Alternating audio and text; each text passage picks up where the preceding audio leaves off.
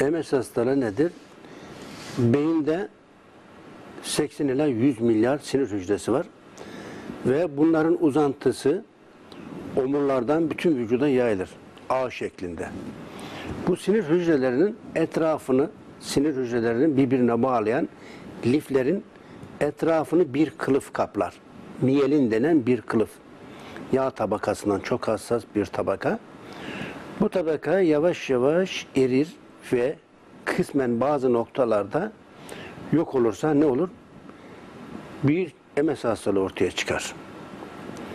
MS hastalığı olan kişide birçok rahatsızlık, görme zafiyeti, baş dönmesi, yürümede zafiyet, birçok rahatsızlık ortaya çıkar. Bu birçok e, tedavi yönteminden sonra, den, muayeneden sonra anlaşılır MS oldu. MS tetikliğinin bu faktör, neden, niçin böyle bir rahatsızlık ortaya çıkıyor? Bu iltihaplı bir hastalık. Fakat iltihabi hastalığın sebebi mikrobiyel değil, mikropsuz bir hastalık. Mikroptan kaynaklanmıyor. Mikropsuz bir iltihabi hastalık. Bu konuda Amerika Birleşik Devletleri'nde yapılan araştırmalarda bir yılda e, iltihabi hastalıklar nedeniyle, iltihabi sadece multiple skleroz iltihabi bir hastalık, bağırsak hastalıkları, ülseratif kolit, kolit, iltihabi bir hastalık, bronşiyel astım, iltihabi bir hastalık, prostat büyümesi, iltihabi bir hastalık, romatoid artrit, iltihabi bir hastalık, eklemler deformasyon nedeniyle ortaya çıkan osteoporoz, iltihabi bir, yani birçok hastalık iltihabidir. Neden iltihabi hastalıklar ortaya çıkıyor? Çok özel bir enzim var. Lipoksijinaz veya kısaca adı LOX. Bununla ilgili Amerika Birleşik Devletleri'nde yapılan bütün çalışmaları Profesör Doktor Erkan Topuz incelemiş. Bu konuda güzel makaleler yazmış. Evet, e, ilk defa birçok ilim adamının yanlışını söyledik. Burada Erkan Topuz'u da takdir ediyoruz. Güzel çalışmalar olduğu için. Ee, sağ olsun Amerika'da yapılan birçok araştırma sonucunda bir buçuk yılda bir buçuk milyon insanın iltihabi hastalıklardan öldüğü tespit edilmiştir. İltihabi hastalıklar nelerdir? Ülseratif kolit, kolit, koron hastalığı, romatizma, eklem deformasyonu, osteoporoz, e, MS, bunlarla ilgili birçok çalışma yapılmış. Şimdi yapılan çalışmalarda bu şu gördüğünüz ak günlük bu sakıza benzer. Damla sakızına benzer ama damla sakızı değil. Hindistan'da veya Yemen'de, Somali'de yetişen bir ağacın gövdesi böyle yarılarak ya ilkbaharda oradan böyle yavaş yavaş reçine sızar. Sakız şeklinde, damla sakızı şeklinde böyle Ramazan olduğu için denemeyeceğim. Daha önce denemiştim. Sakız gibi çiğneyebilirsiniz. Bunun birleşiminde bosfelik asit denen bir asit var. Bosfelik asit. Bosfelik asit özellikle de insan vücudunda ortaya çıkan fazladan LOX yani lipoksijinaz enzimini frenliyor. Enzim frenleyici. Yani bu ak günlük Türkçesi, e, Latincesi bosfelia, zerreta. Bunun birleşimindeki bosfelik asit enzimi azaltıyor. Enzim azalırsa iltihabi hastalıklar ortadan kalkıyor. Şimdi bununla ilgili klinik araştırması yapılmıştır. Frankfurt Üniversitesi'nde klinik araştırması yapılmış. Almanya'da, yine Almanya'da Tübingen Üniversitesi'nde klinik araştırması yapılmış. 260 romatoid artrit hastası ak ama bunun damıtılarak destilasyonla elde edilen ekstraktından yapılan damla drajeler ak böyle sakız gibi çiğnemek veya çayını yapmakla değil. Ak günlüğün elde edilen destilasyonla elde edilen ekstraktından yapılan damla drajelerle 260 romatoid artrit iltihaplı romatizma hastası tedavi edilmiş. 30 osteoporoz hastası tedavi edilmiş. 80 bronşiyel astım iltihabı hastası tedavi edilmiş. Yine 175 romatizma hastası tedavi edilmiş. Ee, ve son çalışmalarda prostat büyümesini önlediği belgelenmiş. Bu da Erkan Topuz'un Amerika'da yapmış olduğu yapılan çalışmaları derlemiş. Oradan bir derleme makale yazmış.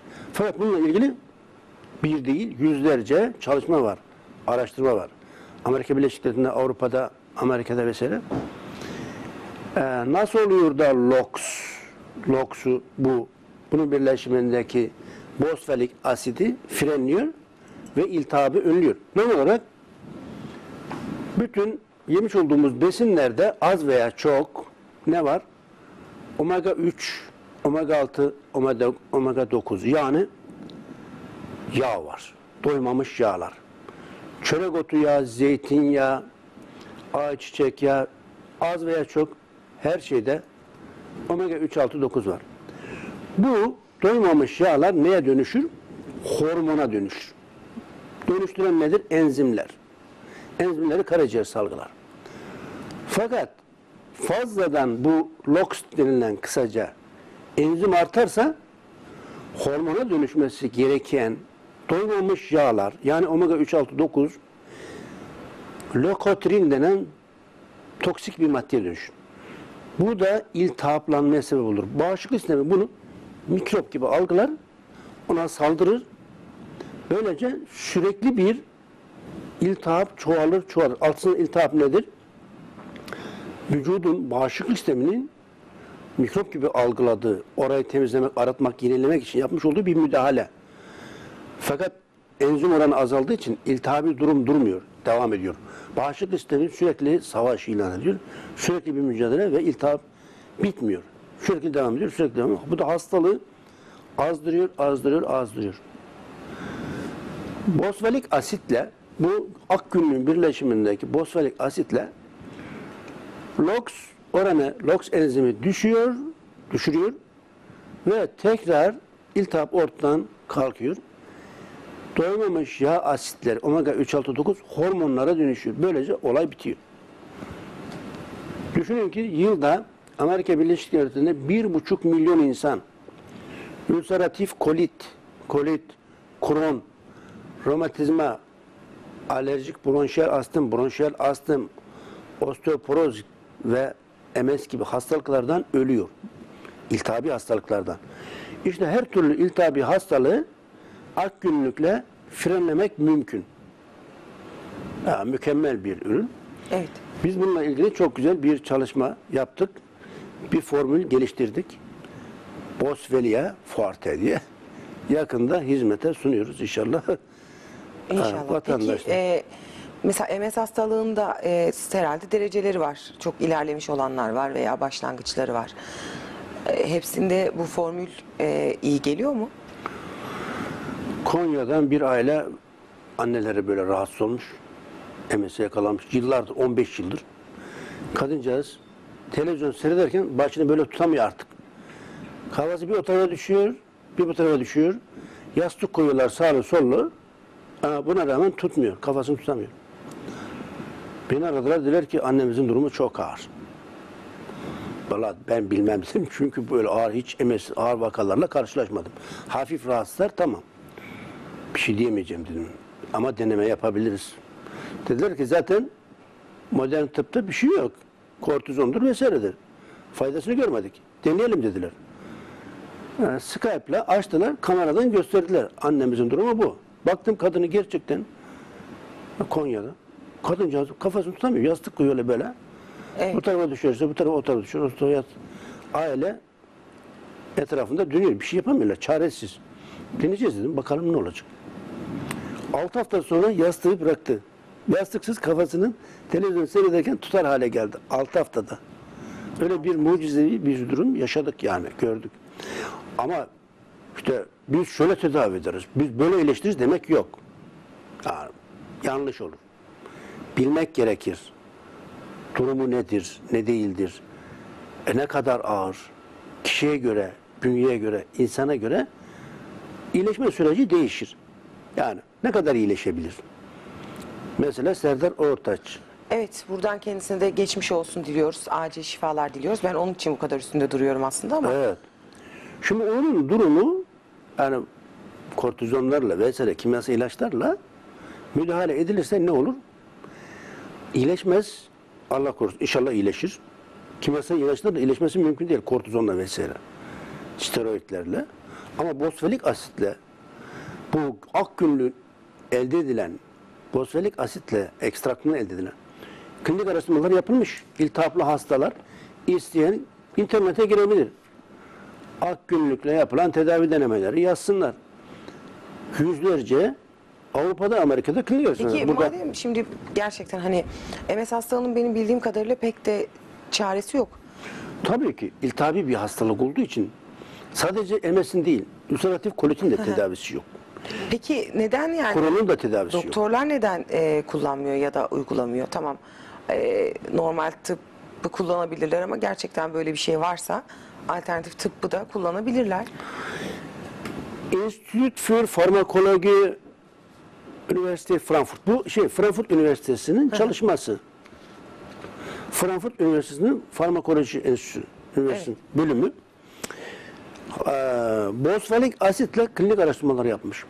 Kortizondan daha etkili olduğunu, yan etkisinin olmadığını belgelemiş.